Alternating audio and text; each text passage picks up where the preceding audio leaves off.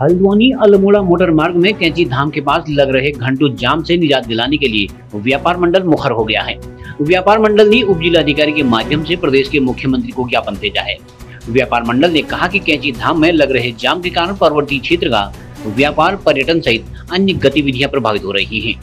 अल्मोड़ा, बागेश्वर, पिथौरागढ़ जैसे शहरों का व्यापार प्रभावित हो रहा है। व्यापार मंडल अध्यक्ष कवि जोशी सहित अन्य ने जाम से निजात दिलाने तथा भवाली रातीघाट बाईपास शुरू करने की मांग की है।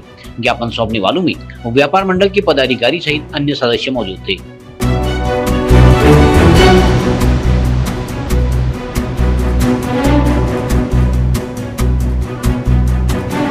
आज यहाँ पर हमारी प्रदेश अध्यक्ष जी के आह्वान पर व्यापार संघ के उन्होंने हमने आज यहाँ पर ज्ञापन दिया मुख्यमंत्री जी के नाम पर कि हमारी यही मांग है जो पूरे कुमाऊं भर में खैना जो हमारा कैची मंदिर है, उसमें लगातार बहुत जाम की स्थिति बनी हुई है और उससे कहीं ना कहीं पूरे कुमाऊं का व्यापार को असर पड़ रहा है और बागेश्वर जो लोग हल्द्वानी या कहीं और से भी आ रहे हैं, उनको आने में भी पच्चीस से तीस घंटा लग जा रहा है बागेश्वर पहुँचने में।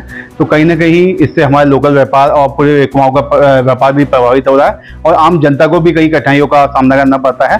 तो इसमें हमारी यही मांग है कि जो रात्रि घाट वाली जो भवाली को जो बाईपास नया वाला बनना है उस पर जल्द से जल्द युद्ध स्तर में काम किया जाए और तत्काल उसको रोड को बनाया जाए, जिससे आम जनता को जो ये जाम का से राहत है वो मिलेगी। और कहीं ना कहीं जो कुमाऊं का व्यापार प्रभावित हो रहा है, वो भी प्रभावित नहीं होगा, यही हमारी मांग है। उसी पर हमने यहाँ पर एक ज्ञापन दिया है।